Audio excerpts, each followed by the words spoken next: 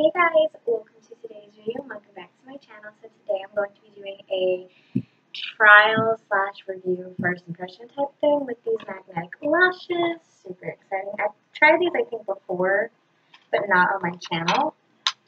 So in this little set that I have, I came it came with three sets of tops and bottoms.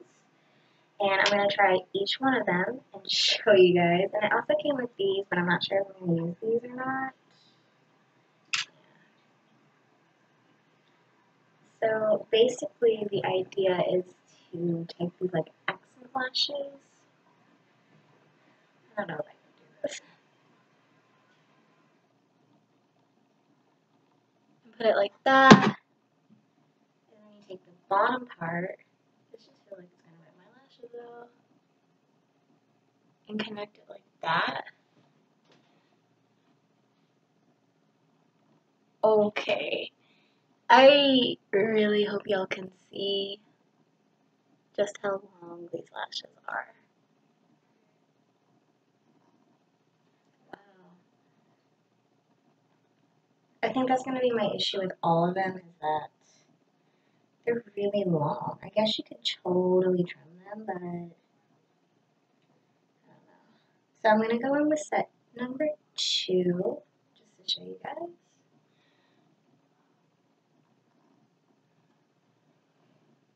Take the bottom part.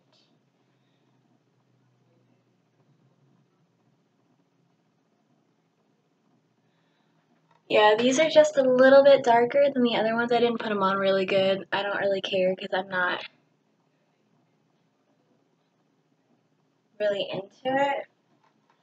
I'm just going to go ahead and say these. I'm going to go ahead and probably toss. Because they're not really what I'm into. And then the last set is these really dark ones. They're just really long for corner lashes. I would need to really trim them to make these look even somewhat decent. Try and do this on camera. So you can see this has a magnet.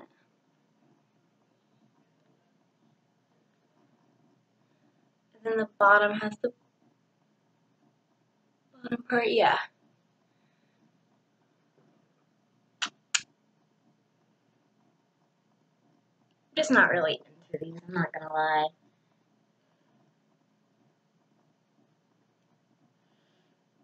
My idea was to like show you guys on both eyes, but I just can't deal with that. Might keep this though.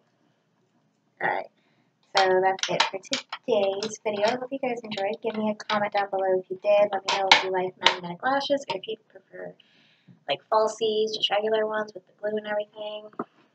I am drinking water.